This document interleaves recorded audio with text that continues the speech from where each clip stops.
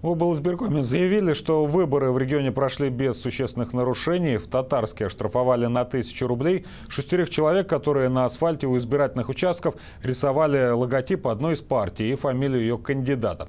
В Новосибирске в день выборов разгорелся скандал с подкупом избирателей пивом. Мы предварительно получили информацию от правоохранительных органов о том, что ими установлено на основании письменных э, пояснений э, того продавца, который непосредственно якобы раздавал по 3 литра пива избирателям, что он таким образом э, выдал по 3 литра пива пяти избирателям. Вот весь масштаб этого подкупа. Между тем, в Кемеровской области заявляют как минимум о двух попытках вброса бюллетеней. Одну из них даже удалось зафиксировать на камеру мобильного телефона. Наблюдатели написали заявление в полицию.